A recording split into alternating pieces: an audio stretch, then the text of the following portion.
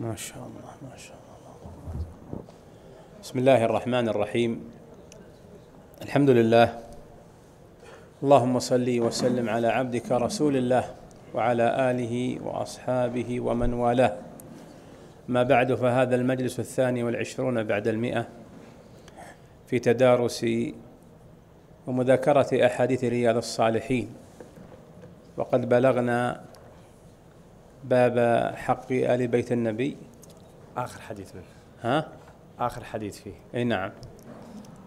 بسم الله الرحمن الرحيم. الحمد لله رب العالمين والصلاة والسلام على أشرف الأنبياء والمرسلين.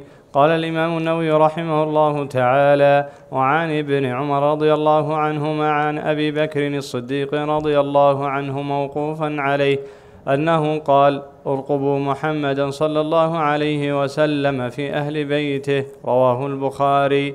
معنى أرقبوه راعوه واحترموه وأكرموه والله أعلم. هذا حديث عبد الله بن عمر يرويه عن أبي بكر رضي الله عن الجميع موقوفا عليه أنه قال أرقبوا محمدا صلى الله عليه وسلم في أهل في أهل بيته. وهذا يفسر قول الله جل وعلا قل لا أسألكم عليه من أجر إلا المودة في القربى. وهو أن يراعى حق آل بيت النبي عليه الصلاة والسلام لأن حقهم من حق رسول الله وتوقيرهم وإجلالهم من توقير وإجلال رسول الله صلى الله عليه وسلم. فبهذا نالوا هذه المكانة ونالوا هذه المنزلة. وآل بيته عليه الصلاة والسلام لهم هذه الميزة الزائدة والرتبة الزائدة عن عامة المسلمين. فإذا انضاف إلى ذلك أنهم أهل صلاح صار الميزة ميزتان ميزة الصلاح وانتسابهم لهذا البيت الشريف. فإذا كانوا من أهل العلم صارت ميزة ثالثة فإن كانوا من أهل الإمارة فهذه ميزة رابعة. مبدأها انتسابهم إلى هذا البيت النبوي الشريف بغير غلو كما سبق وبغير تفريط وإنقاص لهم عن منازلهم. وها هنا مسألة أحب أن ألفت الانتباه الشريف إليها. فليس كل من نسب نفسه إلى آل البيت أنه منهم. لا بد من تحقق ذلك.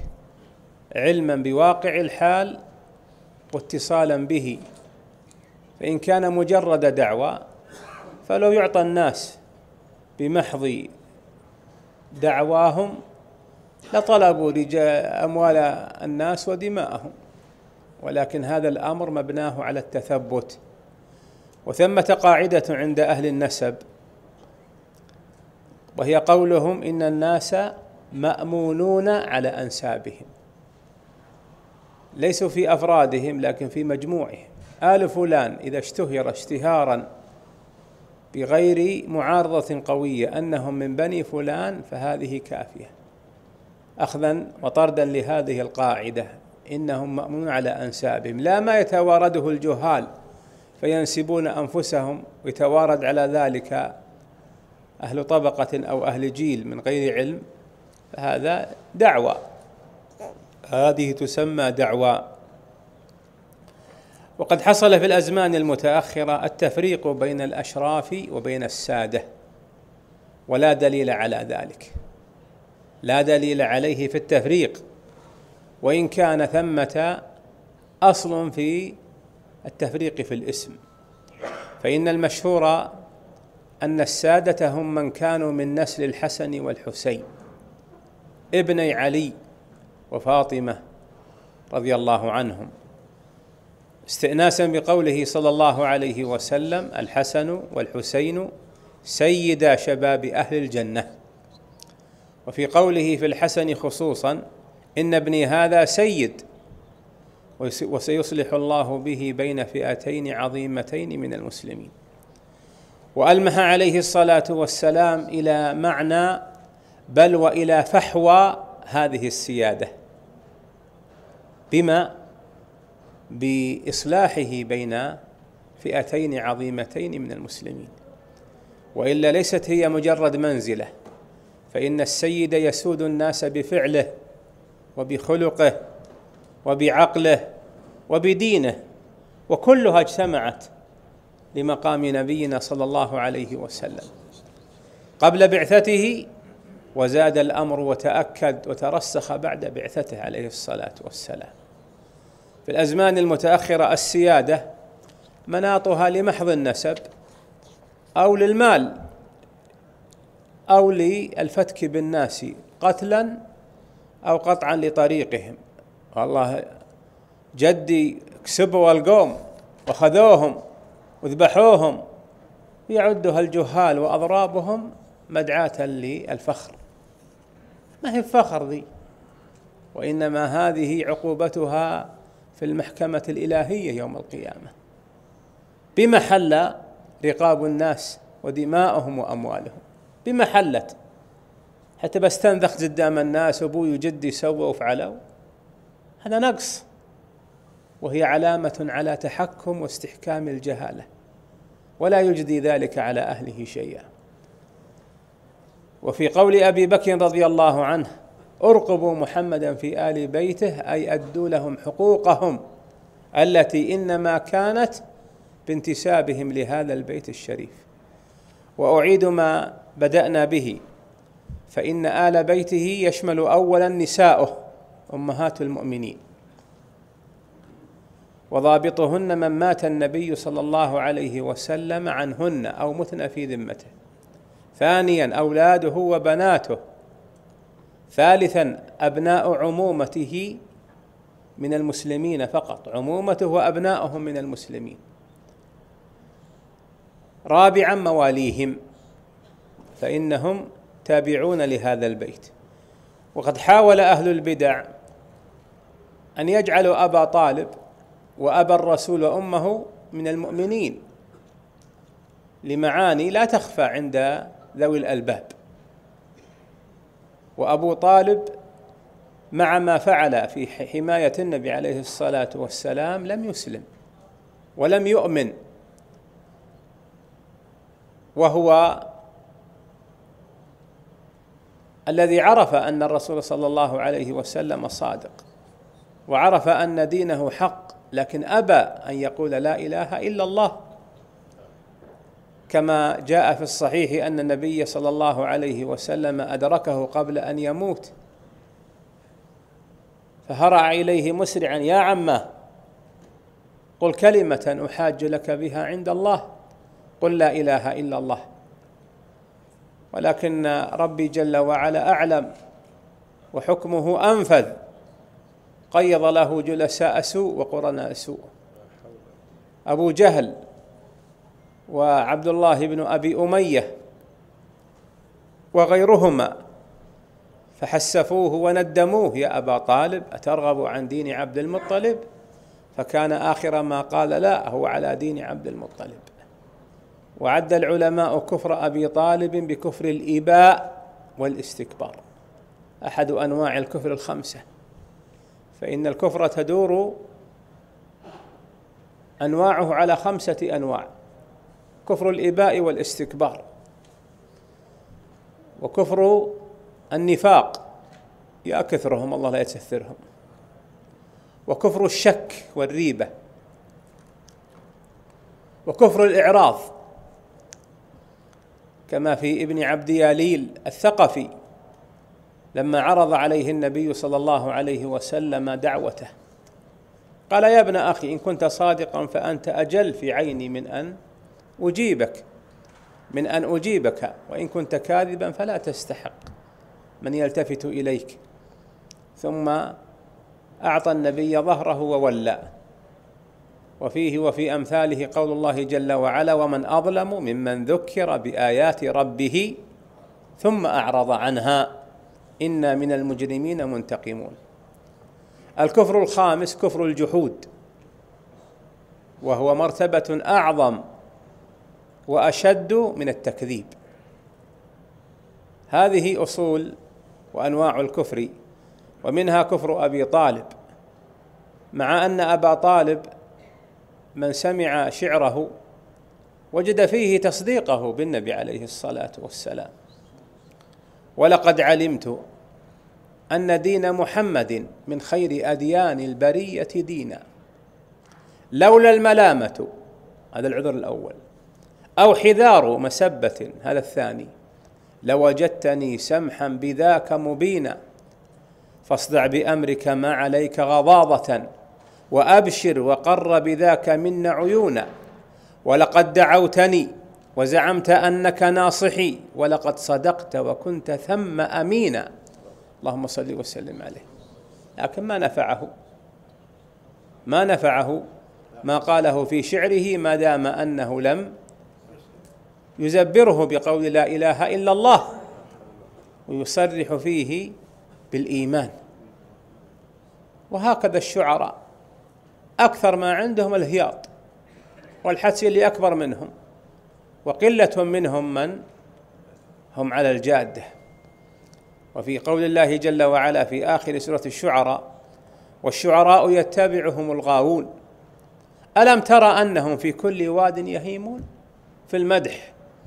وفي الذم في الهجاء والقذع في الفخر والازدراء. وأنهم يقولون ما لا يفعلون. فعل قلبي وفعل جوارح إلا الذين آمنوا هذا الأول. وعملوا الصالحات هذا الثاني. وذكروا الله كثيرا هذا الثالث. وانتصروا من بعد ما ظلموا هذا الرابع. ولهذا قال جل وعلا وسيعلم الذين ظلموا أي منقلب ينقلبون. مات أبو طالب فبكى عليه النبي صلى الله عليه وسلم. ووعد أنه يستغفر له ما لم ينهى عنه. ونهاه ربي عنه إنك لا تهدي من أحببت ولكن الله يهدي من يشاء. جاءه علي. قال يا رسول الله هلك الشيخ. من الشيخ؟ أبوه. فهو شيخ مكة وهو سيد الوادي. هلك الشيخ فما أصنع به؟ قال يا علي اذهب فواره. يعني إيش؟ ادفنه. ما قال خل نغسله ونكفنه. ما قال خل نجمع المسلمين ونصلي عليه. اذهب فواره. ويأتي من يتحذلق بأن أبا طالب مؤمن. علشان إنه أبو لعلي ما يأتي دين الله ووحيه وعلمه بمحض الهوى ومحض العاطفة. اللهم صل على محمد وعلى آل محمد. صلاة وسلاما أبدين دائمين إلى يوم الدين. نعم. قال قال الإمام النووي باب توقير العلماء والكبار وأهل الفضل. وتقديمهم على غيرهم ورفع مجالسهم وإظهار مرتبتهم. ما شاء الله. قال الله باب توقير العلماء. ها؟ نعم. و والكبار. والكبار. الكبار يشمل كبار السن وكبار القدر. وأولي الفضل أي من لهم على الناس فضل. فضل بإنفاق واليد العليا خير من اليد السفلى. فضل بولاية. فيقدمون لها. فضل بمكارم أخلاق. وتوقيرهم. وإنزالهم منازلهم. نعم. قال الله تعالى بسم الله الرحمن الرحيم. قل هل يستوي الذين يعلمون والذين لا يعلمون؟ إنما يتذكر, إنما يتذكر أولو الألباب. هذه الآية في أواخر سورة الزمر. يقول الله جل وعلا قل هل يستوي أن يتماثل ويتساوى الذين يعلمون والذين لا يعلمون؟ الجواب في هذا الاستفهام التقريري لا يستوون. رفع الله الذين يعلمون على الذين لا يعلمون. وهذا من العدل أن لا يساوى بين المختلفات كما أن من الجور التسوية بين المتفرقات. أم نجعل الذين آمنوا وعملوا الصالحات كالمفسدين في الأرض أم نجعل المتقين كالفجار؟ هذا ما يستوي لا في البداهة ولا في الشرع. قل هل يستوي الذين يعلمون والذين لا يعلمون؟ وليس الذين يعلمون عندهم معلومات وشهادات ويشار إليهم بالبنان ويرأسهم العوام ويحط المسواك بمخباتك. مجالس العلم ما هي بتسوك يا ولدي. تمام؟ هل يستوي هؤلاء وأولئك؟ لا يستوون. لا يستوون لا طبعا ولا عقلا ولا شرعا. وكما قلت لكم أهل العلم الذين يعلمون ليس مناط ذلك بأن يرائسهم الجهال. فإن آخر الزمان تنقلب المفاهيم بل وتضطرب الموازين.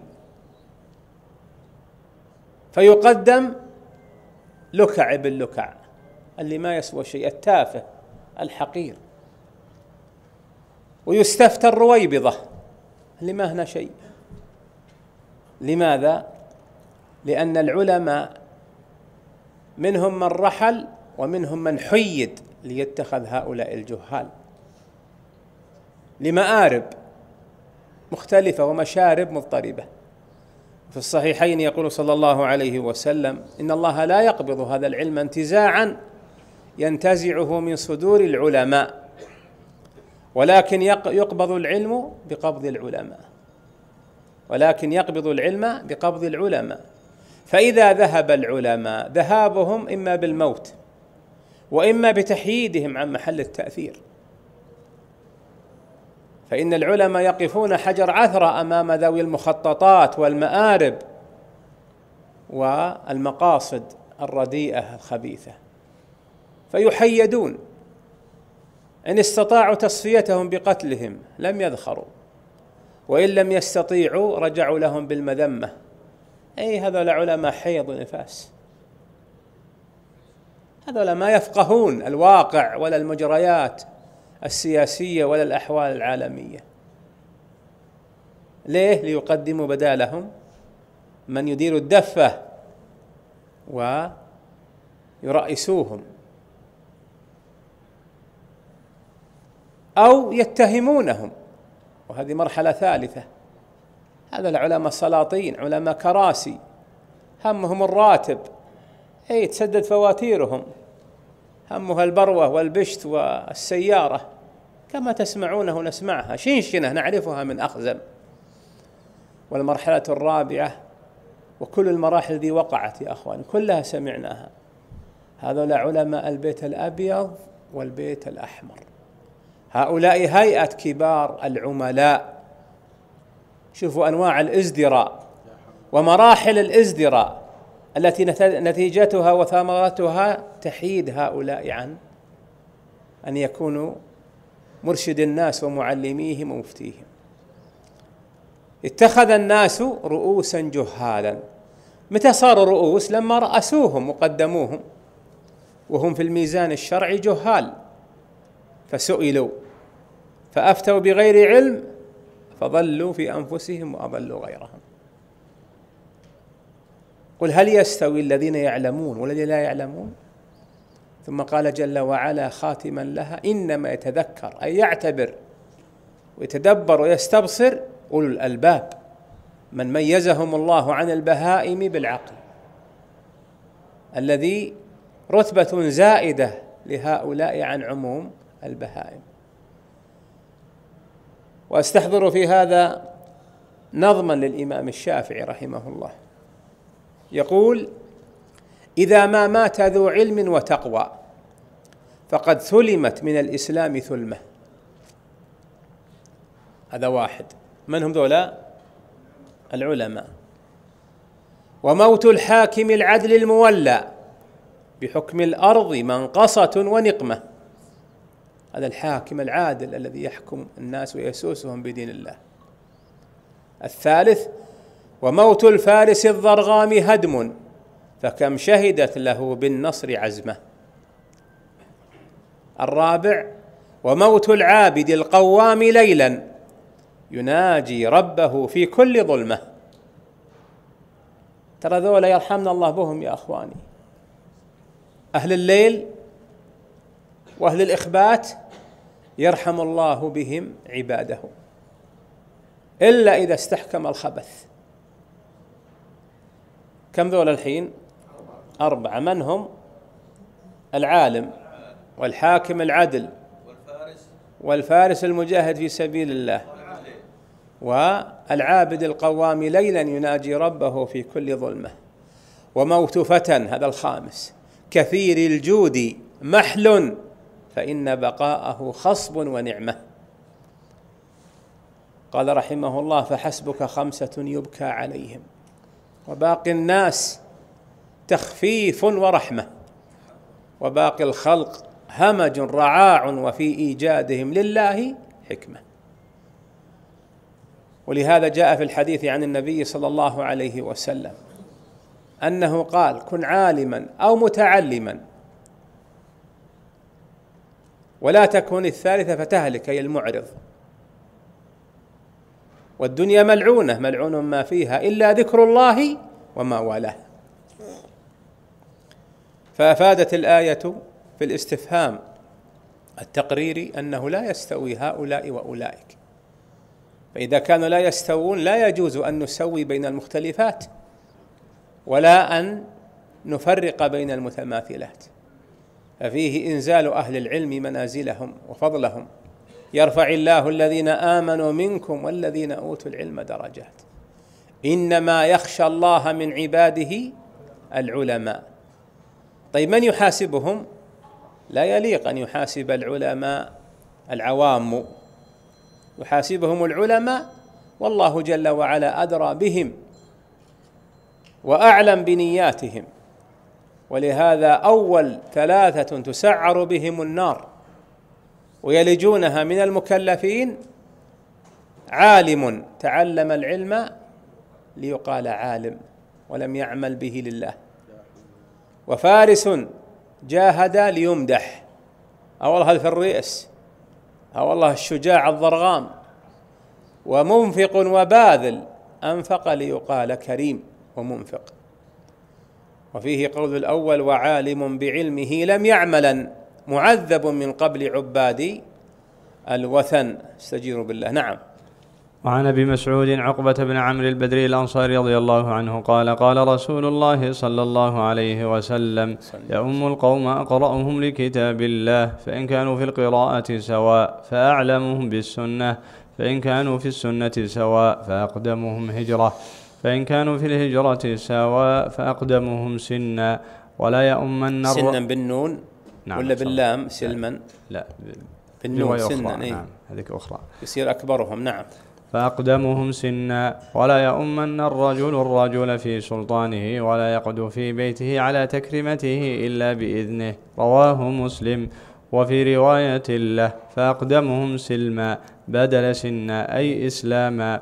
وفي رواية يؤم القوم أقرأهم لكتاب الله وأقدمهم قراءة. فإن كانت قراءتهم سواء فيؤمهم أقدمهم هجرة. فإن كانوا في الهجرة سواء فليؤمهم أكبرهم سنا. والمراد بسلطانه محل ولايته أو الموضع الذي يختص به. وتكرمته بفتح التاء وكسر الراء. وهي ما ينفرد به من فراش وسرير ونحوهما. هذا حديث أبي عمرو عقبة. أبي مسعود. أبي م... هذا حديث أبي مسعود عقبة بن عمرو الأنصاري البدري يميزونه بالبدري لسابقته وهو يميز يميز بأبي مسعود عن ابن مسعود. وهذا الحديث سبحان الله العظيم رواه الاثنان رواه أبو مسعود البدري الأنصاري ورواه ابن مسعود عبد الله بن مسعود. وكلا الحديثين بهذا اللفظ أخرجهما الإمام مسلم في صحيحه. يقول صلى الله عليه وسلم يؤم القوم والإمام المراد بها إمامة الصلاة. ولا يؤمهم إلا أفضلهم. هذا وجه التفضيل من هذا الحديث. يؤم القوم مطلق أقرأهم لكتاب الله. يعني أنه يقرأ القرآن ويفهمه ويفقهه. لا مجرد حفظ حفظ لألفاظه. فإن القارئ عندهم الذي حفظ القرآن وفقهه. كما قال ابن عمر كنا لا نتجاوز العشر آيات حتى نحفظها ونخبرها ونعرف ما فيها من العلم والعمل. يقوم يؤم القوم أقرأهم لكتاب الله. فإن كانوا في القراءة سواء يعني متقاربون. أما التساوي من كل وجه ما يتأتى. فأعلمهم بالسنة. والسنة هنا بمعنى الشريعة. السنة تأتي لها عدة إطلاقات. ففي باب الأصول السنة المصدر الثاني من مصادر التشريع. وفي باب الأحكام السنة المستحب ما يثاب فاعله ولا يعاقب تاركه. والسنة عند أهل الحديث هو كل ما أثر عن النبي عليه الصلاة والسلام من قول أو فعل أو تقرير أو وصف خلقي أو وصف خلقي. والسنة عند علماء العقيدة هي مقابل البدعة فتشمل العقيدة والشريعة في مقابل قسيمها وهي البدعة. والمراد بها ها هنا هذا الثالث. الشريعة أعلمهم بالسنة أي بالذي بعث الله به رسوله من العلم والدين.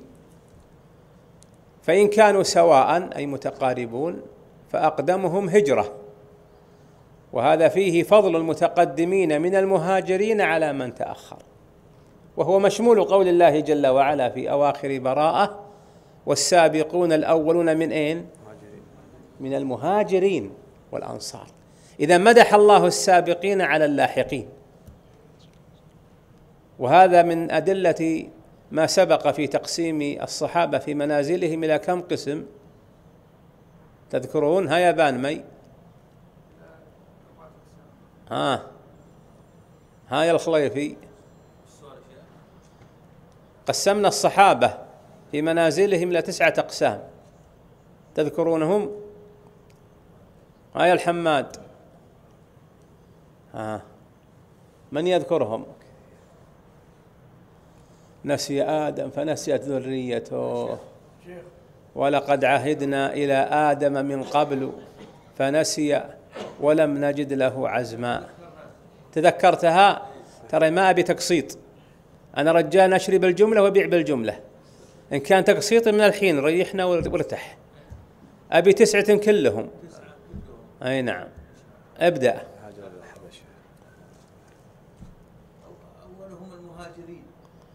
هذا هذا أول الخماع أي نعم. أي. ها.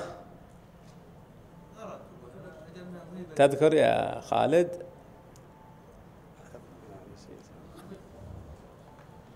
أي. يقولون ساده ما أنا معلمكم أجل. ما دام أن العلم يروح ما أنا معلمكم تذكر يا مجذوب؟ نشد بك الظهر ونقول هذا حذامي فصدقوها ها؟ ها؟ أجزاء؟ أنا ما أشري بالتقسيط أنا. ما أضيع الناس إلا التقاصيد الثالث أقدمهم هجرة. فدل على أن من تقدمت هجرته فهو أفضل ممن تأخرت هجرته. الرابع أقدمهم سنا في الرواية الأخرى سلما أي أن من سبق في الإسلام فهو أقدم. وبالتالي حتى السن. فأبوك أقدم منك سن سلما. أسلم قبلك. وعبد الله قبلك. ومن هو أكبر منك بسنة عبد الله قبلك. هذه في الثلاثة الذين يستحقون أن يقدموا للإمامة. والإمامة فضل ولا ما هو فضل؟ هو فضل. إذا هذا في دليل مفهومه التقديم وبيان الرتبة. ونبينا صلى الله عليه وسلم كان إماما. وذكر شيخ الإسلام أنه مع كثرة ما ورد في الأحاديث في فضل المؤذنين لو لم يكن النبي صلى الله عليه وسلم إماما لقلنا إن المؤذن أفضل من الإمام. شوفوا الفقه منه رحمه الله. مع كثرة ما ورد في الأحاديث في فضل المؤذنين وشأن الأذان لو لم يكن النبي إماما لقلنا إن الأذان أفضل من من الإمامة. اللهم صل وسلم عليه. فأفاد الحديث تقديم أولي العلم الذين هذه صفاتهم. أهل القرآن وأهل السنة وأقدم هجرة وأكبر سن. طيب. وهذا قاعدة أغلبية. تنخرم هذه القاعدة في من يعينه ولي الأمر وهو الذي يسمى بالإمام الراتب. فإذا عين إماما راتبا تولى الإمامة ولو كان وراءه من هو أفضل منه في القرآن والسنة والهجرة. وكذلك في كونها أغلبية ما استلحظه مشيخة الأنصار والمهاجرين من أهل بدر. لما أن جمع عمر معهم من؟ عبد الله بن عباس. قالوا يا أمير المؤمنين لنا أبناء أكبر منه وفي مثل سنه وتجمعه معنا. فقال إنما فعلت ذلك لأمر تدركونه. فسأله يوما سألهم عن معنى قول الله جل وعلا إذا جاء نصر الله والفتح. فأجابوا جوابا لم يحقق الأمر. قال ما تقول فيه ابن عباس؟ قال هذا إعلان من الله لنبيه لقرب أجله. قال ما أعلم منها إلا ما يعلم هذا الصبي. فعرفوا أنه قدمه معهم لماذا؟ علمه لعلمه. لكن لما كان الأغلب كبير السن معه العقل والعلم كان هذا الوصف أغلبي ولا يأتي من صغير السن من يفوق الكبار. فأفاد الحديث على تقديم أهل العلم على غيرهم. ومثله حديث عبد الله بن مسعود الآتي وفيه زيادة. نعم. ولا يؤمن الرجل الرجل. قال ولا يؤمن الرجل الرجل في سلطانه إلا بإذنه. لا يجوز أن تؤم أحد في مزرعته في استراحته في ولايته إن كان ذا ولاية إلا بإذنه. أدركتهم في الأمارة في مراجعة ولا جاي تاعظ وذكرتهم وصلوا جميع. ما تصلي إماما حتى يأذن. صاحب الإمارة وصاحب المحافظة. ولا يجلسن على تكريمته. المكان اللي يختص به كرسيه سريره كنبه مركاه إلا بإذنه. لأن في هذا تعدي على نوع سلطانه ونوع استحقاقه. دين يراعي هذه الأمور ويراعي هذه المشاعر. ما هو بدين عظيم يا أخواني؟ والله دين عظيم. لأنه من ربنا ليس منا. لو كان منا لوجدنا فيه اختلافا كثيرا. نعم. وعنه رضي الله عنه قال كان رسول الله صلى الله عليه وسلم يمسح مناكبنا في الصلاة ويقول استووا ولا تختلفوا فتختلف قلوبكم ليليني منكم أولو الأحلام والنهى ثم الذين يلونهم ثم الذين يلونهم. رواه مسلم. وقوله صلى الله عليه وسلم ليلني هو بتخفيف النون وليس قبلها ياء. شوف و... ليلني ليس قبلها ياء وهي رواية أخرى ليليني قبل النون ياء والنون مشددة. إذا فيها روايتان. ليليني منكم أن يكون ورائي مباشرة. نعم. وروي بتشديد النون مع ياء قبلها. والنهى العقول وأولو الأحلام هم البالغون وقيل أهل الحلم والفضل. وعن عبد الله بن نعم في هذا الحديث زيادة في فضل أهل العلم وأهل الفضل على غيرهم. في قوله في قول أبي أبي مسعود عقبة بن عمرو رضي الله عنه كان النبي صلى الله عليه وسلم يمسح أكتافنا. يعني يسوي الصفوف فيمسح بأكتافهم لتتساوى فلا يتقدم منكب على منكب ولا صدر على صدر. يمسح أكتافهم يسوي بهم الصفوف. وكان يشتغل بهذا صلى الله عليه وسلم حتى عقلوا ذلك عنه. فصاروا يقومون ويصطفون كما يأمرهم. ثم قال عليه الصلاة والسلام وهذا هو الشاهد لا تختلفوا فتختلف قلوبكم. دل على أن الاختلاف في الظاهر يفضي إلى اختلاف القلب. ولهذا عنيت الشريعة أيما عناية بمظهر الاجتماع والائتلاف لئلا يسدى منه إلى الاختلاف والافتراق. ثم قال وهذا الشاهد ليلني منكم في رواية ليليني منكم أولو الأحلام والنهى ثم الذين يلونهم ثم الذين يلونهم. أولو الأحلام أي العقل ولا يزين العقل إلا بالعلم والعقلاء والحكماء من الناس درسوا في مدرسة. أي مدرسة هي؟ مدرسة الحياة. فالعاقل منهم من أخذ منها دروسا فتكمل بها عقله وحلمه. زاد أهل الإيمان مدرسة أخرى وهي مدرسة النبي صلى الله عليه وسلم التي من تعلم فيها رقى في المراقي العلى حتى وجد من خريجيها أفضل أتباع الأنبياء قاطبة الصديق رضي الله عنه ثم أبو بكر ثم ثم ثم عمر ثم عثمان أفضل الناس قاطبة. إيش الدليل؟ حديث عبد الله بن عمر في صحيح البخاري. قال ابن عمر رضي الله عنهما كنا نقول والنبي صلى الله عليه وسلم حي بين أظهرنا يسمع كلامنا ويقرنا لا ينكر علينا.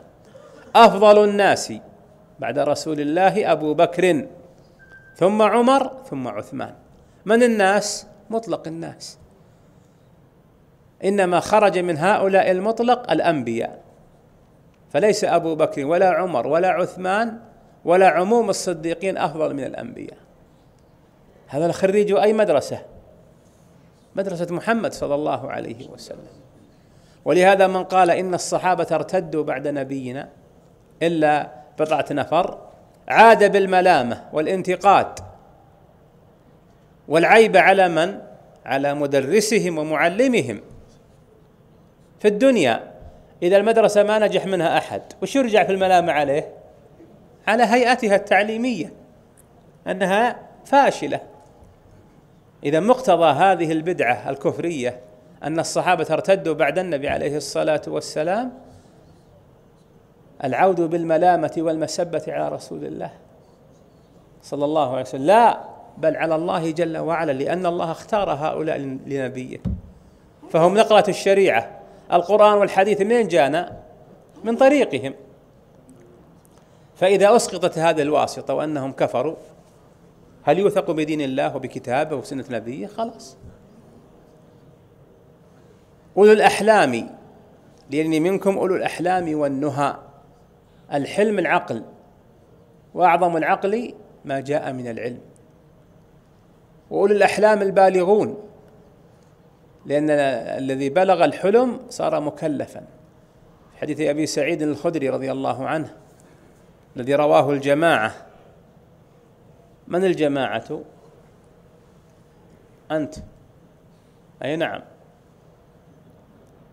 البخاري ومسلم وأبو داود والنسائي وابن ماجه آه والترمذي والخليفي ما هم معهم وبانمي ما هم معهم بعد آه. آه. بس ستة هم في سابع آه ها آه. وأحمد. الجماعة هم السبعة. هؤلاء السبعة اتفقوا على هذا الحديث. حديث أبي سعيد الخدري رضي الله عنه قال قال النبي صلى الله عليه وسلم غسل الجمعة واجب على كل محتلم. فمحتلم أي البالغ هنا قال يلني منكم الأحلام والنهى. النهى العقل والعلم لأن جمارة العقل وزينته بالعلم. ثم الذين يلونهم ثم الذين يلونهم وهذا ما يسمى في عرف العوام اليوم بالروضة روضة المسجد. من يلي الإمام؟ أولو الأحلام والنهى. استجابة لأمر النبي أولا وفيه تقديمهم على أولي الجهل وضعف العقل وضعف العلم. وثانيا لأنه إذا ناب الإمام شيء في صلاته من يسده؟ هؤلاء أولي الأحلام والنهى. ففيه تقديم أهل العلم وأهل الفضل على غيرهم. وهذه مسألة يا أخواني ودي أنكم تنتبهون لها في آثارها. فإذا وجد خلف الإمام مباشرة من الصغار الأطفال وإن سبقوا فلهم فضل السبق لكن خلف الإمام برجلين ثلاثة يتولاها أولي الأحلام والنهى. من أهل العلم حتى إذا ناب الإمام شيء في صلاته سده هؤلاء ما لم يسده الصغار أو قليل العلم. لا أنه يبعد الصغار عن الصف الأول كما نراه من بعض العوام. ترى ذا ظلم لهم. ظلم للصغار تبعدهم عن الصف الأول وقد سبق إليه وتوانيت أنت. وأنتم من جرب ذلك في صغره منكم. أبعد عن الصف الأول مع تقدمه إليه إلى الآن باقية في خاطره. ما نساها. ولا لا يا أخواني؟ ليه؟ لأنه ظلم. نعم الروضة اللي خلف الإمام مباشرة يكون فيها أولو الأحلام والنهى لهذا الحديث الذي قدم النبي صلى الله عليه وسلم من هم أهل للتقديم وفضل من هم أهل للتفضيل. طولنا. ولا نأخذ حديث ابن مسعود؟ ناخذ توكل على الله. وعن عبد الله بن إذا راح مجذوب خالد هو نائبه. يحدوبنا ما نقول نقول, نقول لهم لا. أي نعم. وعن عبد الله بن مسعود رضي الله عنه قال قال رسول الله صلى الله عليه وسلم ليليني منكم أولو الأحلام والنهى ثم الذين يلونهم ثلاثة وإياكم وهيشات الأسواق. رواه مسلم. نعم. طابق حديث ابن مسعود حديث أبي مسعود البدري رضي الله عنهما. وفيه أنه قال صلى الله عليه وسلم ثلاثا. ليلي منكم ليليني منكم أو ليلني منكم أولو الأحلام والنهى. ثم الذين يلونهم ثم الذين يلونهم. ثم قال وإياكم وهيشات الأسواق. ما هيشات الأسواق؟ ما يقع من العوام والعوام في الغالب هوام. يتهاوشون. حتى في الصف الأول. وبه يتميز العالم العاقل من العامي ضعيف العقل. يغادر الصف الأول والمسجد كأنه في سوق. ارتفاع أصوات مزح وسب. وربما تطاول الأمر إلى إلى خصومات وضرب. إياكم وهيشات الأسواق. وهذا ما يميز بيوت الله عن غيرها. فيها سكينة فيها تنزل رحمة تغشاهم الرحمة أي تعمهم. بخلاف الأسواق التي شأنها وشعارها ارتفاع الأصوات. حتى إذا لم يكن فيها أصوات تلفت الواحد. وين الناس؟ فصار في السوق له شعار وبيوت الله لها شعار. إن ارتفعت الأصوات في المساجد فبماذا ترتفع؟ بالقرآن وبالذكر وبالدرس. ما ترتفع؟ بالقيل والقال واللجاجة حتى تغدو المساجد في الكبار. كهذا المسجد موضع للجاج وارتفاع الأصوات. فلا تفرق بين جلوسهم في مسجد وجلوسهم في ناصية طريق وقارع الطريق ولا في سوق. وهذا إثم. إياكم يعني أحذركم. وهذا نهي وهيشات الأسواق. اللهم صل على محمد وعلى آل محمد ما ذكره الذاكرون الأبرار. وصل وسلم عليهم ما غفل عنهم الغافلون الأشرار. وصل وسلم عليهم ما تعاقب الليل فأدبره النهار. صلاة وسلاما دائمين أبدين إلى يوم القرار. والحمد لله رب العالمين. نعم. سم.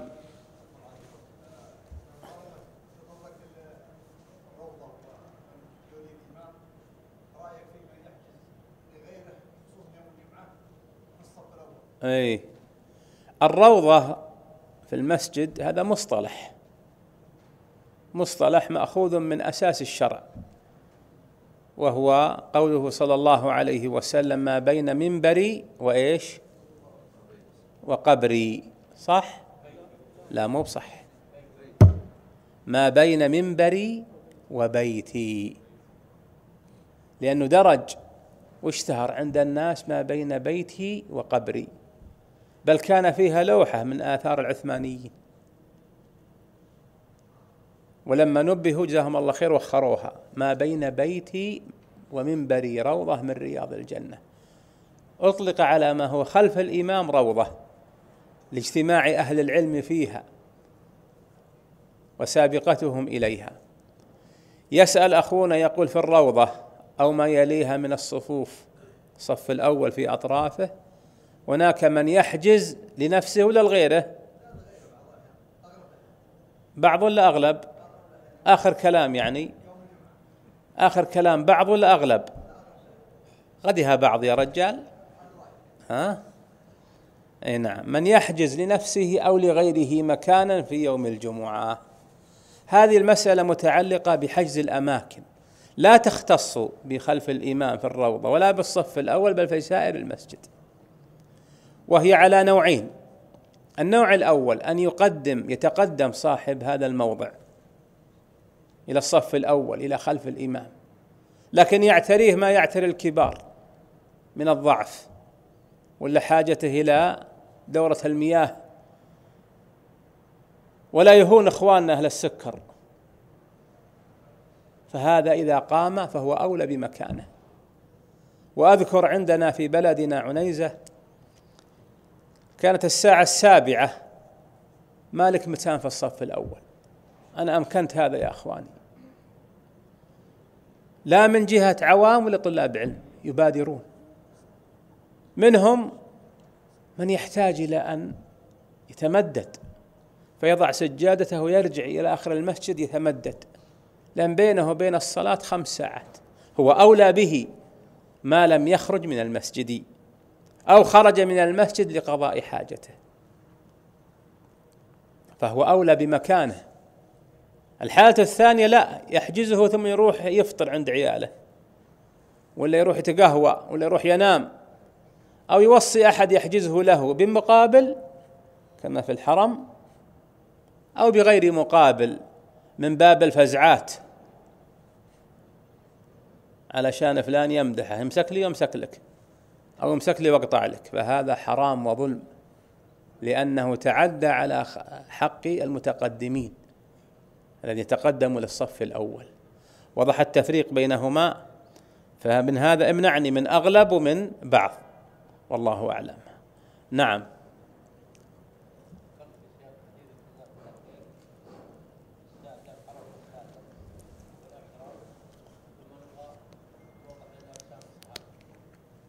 أقسام الصحابة اللي إحنا مع الإخوان تو.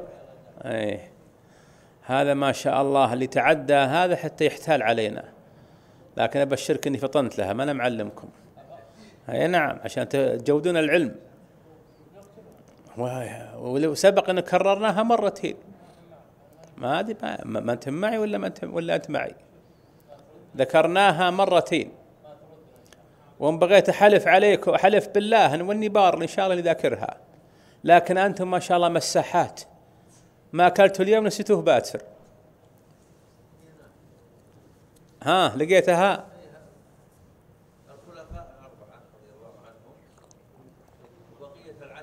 ترى بسمع منه. نكملها؟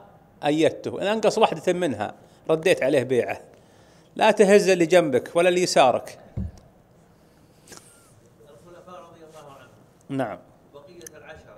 نعم ثم أهل بدر نعم. وأصحاب البيعة الأولى والثانية. أي نعم. و و و خرج من الخط السريع وراح مع الخط الزراعي. الردمية قدامك. الردمية قدامك. تتغرز الحين. ها من أسلم قبل الفتح. طيب. ثم من أسلم بعد الفتح. زين. عز الله اللي غرز. الحين يبي لك واير وسلاسل بعد ما هو باير عادي. أهل العقبة ما يدخلون؟ أنت تسألنا الحين. أنت مثل أبو صالح حيات علي تح- تحتلون علي منا ومنا.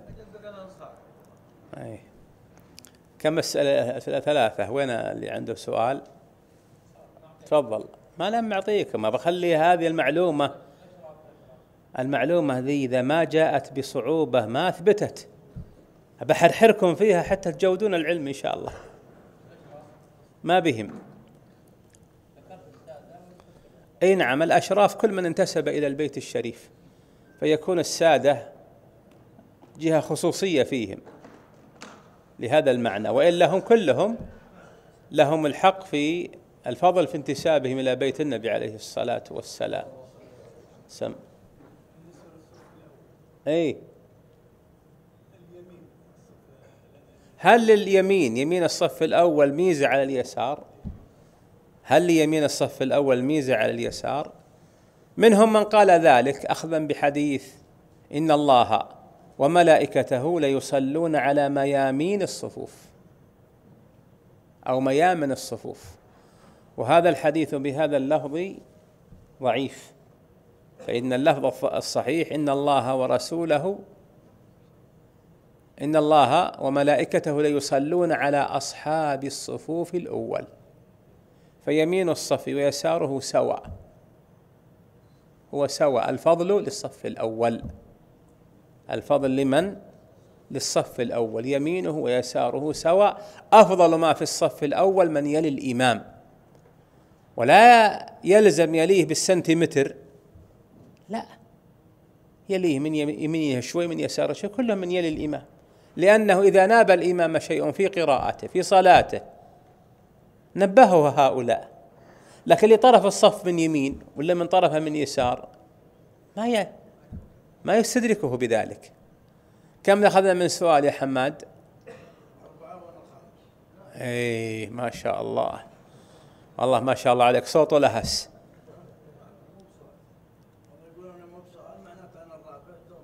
لا لا ما لا لا ما, ما اطيعكم. اصبر ما بعد سمحنا. إحنا أنت الحين الرابع ولا الخامس. على كلام شيخنا الرابع. وعلى كلامك أنت سلمك الله. على كلامي الخامس لأنه دخل بالمداخلة. أي طيب. لكن أنا مضمون يعني نعطيها السؤال. أنا عندي إنكم سألنا أعطيناكم خمسة أسئلة. هو السادس. ها؟ يستاهل. ولا ولك قدر عند الربع يا أبو إبراهيم. والله يا شيخ طيبك قبل كل شيء مع أنك تهوش أنت. شيخنا أنه آه، السنة هي الشريعة. أي. الشيخ عبد العزيز بن باز قدم الألباني قال أنت أعلم منا بالسنة. أي. فما رأيكم شيخ؟ رأيي أني ما لي شيء ولا قيمة عند عند الشيخ ابن باز. وش أنا عنده؟ ما أنا إلا من أصغر طلابه. هذا شيخنا وهذا عالمنا. ما نحن إلا من آثاره رحمه الله. ما. فالسنة يراد بها الشريعة وجمارة الشريعة في حديث النبي عليه الصلاة والسلام. فإذا فهمنا هذا لا فرق بين هذا وهذا. ولهذا قال الفقهاء في باب الإمامة. يؤم الناس الأقرأ العالم فقه صلاته. ما هو بس قارئ قارئ وعالم فقه الصلاة. وهذا مجموع علمه بالقرآن قراءة وبالسنة. وضحت سلمك الله. فصار ما فيه ما فيه خلاف. نعم السنة يراد بها الشريعة وجمارة الشريعة في هذا الوحي.